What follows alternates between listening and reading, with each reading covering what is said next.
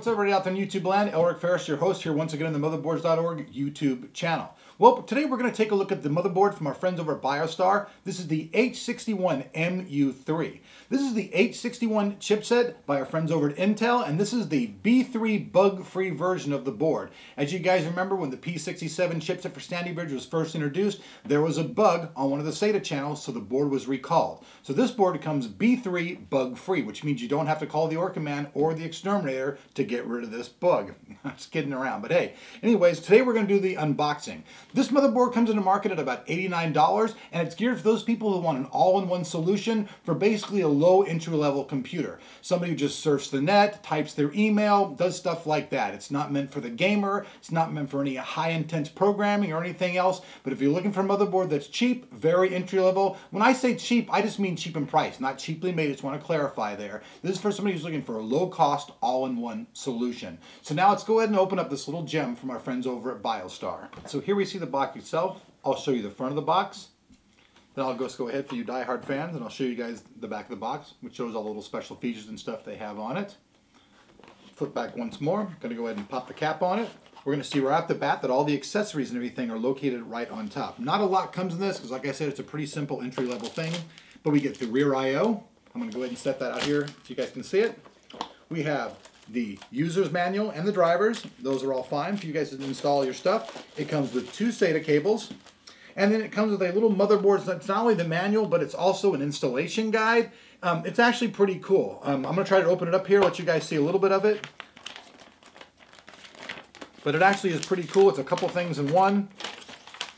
On one side, it's got the basic stuff that tells you about what's going on with the board and then I'm going to flip it around. The other one actually shows the board and all the stuff that's on it, all the features and so such. So it's pretty good. It's actually all very visual. I kind of like it. Not bad. Not many companies are doing that. It's usually just one or the other. This one's kind of combined. So that's all the stuff that's the accessories. I'm going to go ahead and get that out of the way. Then we're going to move on to the motherboard. Now, this motherboard is Mini ITX. It's very, very small. Let me go ahead and pull it out here.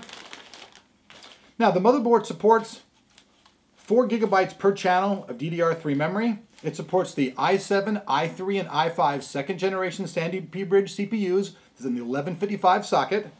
Now, the one thing might be a drag to some people is the lack of amount of PCI slots. Now, there's only a single PCI E slot, and there's two standard PCI slots, and then a 1X PCI slot. That might be daunting to some people looking to build something, but like I said, entry-level people are not going to want very much to go. And Another thing is the motherboard has onboard graphics, which we'll get to just in a second. So you guys can see that. It's very, very small. There are four SATA connectors right here, right by where the power is located. Your Singer 24 power pin connector there.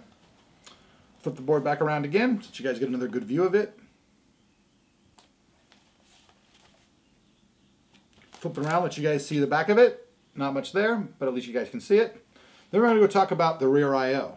Their I.O. is really nice. It's kind of hard for me to talk to you guys and look at at the same time. But basically, you have all of your HDMI, DVI, and standard VGA connections. You've got all your 7.1 audio. You've got some USB 3.0 ports, a single port for your LAN connection, and you do have a single old school little keyboard port right here, along with a couple standard USB ports. So it's all in all pretty good. You've got your HDMI here, like I said, your DVI, and then your standard VGA. So all the things are decked out from there. It supports full things for HDMI and all your videos, so it works out pretty good. So this is basically everything that comes in this box.